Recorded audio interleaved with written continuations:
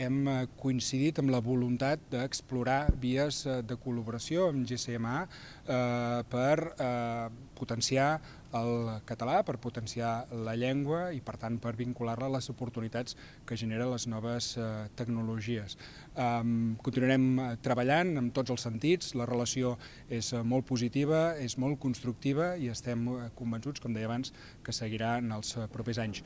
Project Aina is, uh, is very interesting. The ability to preserve uh, culture and language and to use uh, artificial intelligence then to propagate and to enhance the ability for that to spread not only here in Catalonia but to uh, potentially other countries and regions that have languages and cultures that, um, that are not as mainstream as some of the others. So the GSMA will take this, uh, consider it, and see how we can help. Uh, and so we'll have some we'll have some very productive meetings and talk about it. Then we'll get back together again and see how best to work